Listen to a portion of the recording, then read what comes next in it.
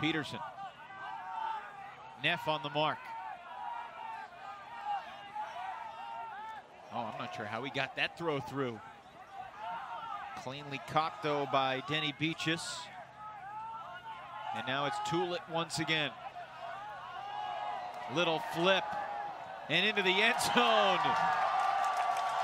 Konker to Bechis after Tulett's cheeky toss.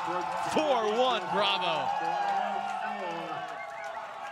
Wow, Tulett really doing some spectacular things, always hitting those backhands around. And look at this, just a little bit of an overthrow, and Kirk Gibson maybe watching his toes a little more than the disc there, but watch this high release uh, break here.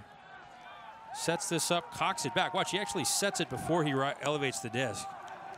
If you knew his if you knew his mechanics, you would know he was about to throw that.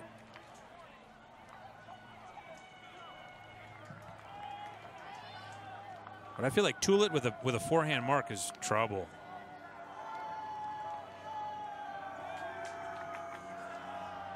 Well, he has really been a godsend for this Bravo D line throughout the season.